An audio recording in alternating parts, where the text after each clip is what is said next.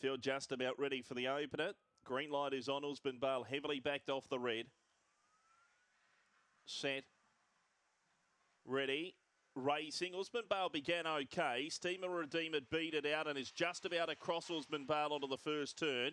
Agnet Bale got across to third as the front two have a good bump. Usman Bale went through underneath and took over. From Steamer Redeemer, Agnet Bale, then Daff's Desi. Second last Webleck Thunder far out. Frankie four away. Usman Bale off the back, two lengths in front. Steamer Redeemer in second. Agnet Bale a length and a half away trying to run on. Usman Bale on the turn though. Straight and three in front of Steamer Redeemer and Agnet Bale and Usman Bale. They land some good bets. Usman Balbeck, Steamer Redeemer, Agnet Bale. Fourth, maybe Daff's Desi ahead of Webleck Thunder. Far out Frankie at the tail of the field in 30 and 63.